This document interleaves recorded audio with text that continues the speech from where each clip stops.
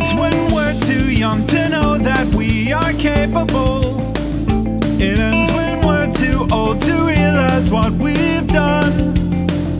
And all this time we are eroded, our innocence exposed, and we are physically to than even still.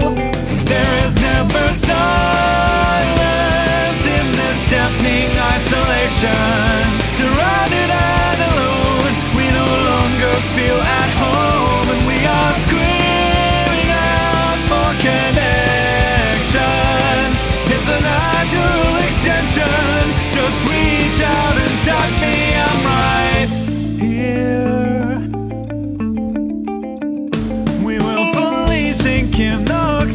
Tie us down